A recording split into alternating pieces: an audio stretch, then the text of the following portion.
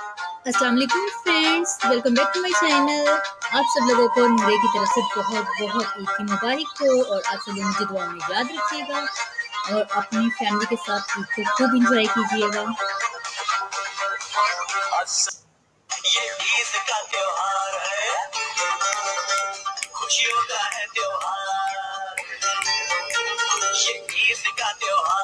खुशियों का है त्योहार। तेरा है मेरा है ये सबका है त्योहार। ये प्यार का